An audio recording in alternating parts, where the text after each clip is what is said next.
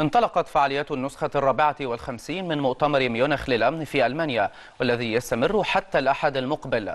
ويشارك وزير الخارجية سامح شكري في المؤتمر ممثلا عن مصر بجانب رؤساء 21 دولة وحكومة وأكثر من 80 وزير خارجية ووزير دفاع فضلا عن أكثر من 600 مدعو رفيع المستوى. هذا ويعتبر مؤتمر ميونخ من أهم المؤتمرات التي يتم فيها تناول القضايا الأمنية الدولية والإقليمية.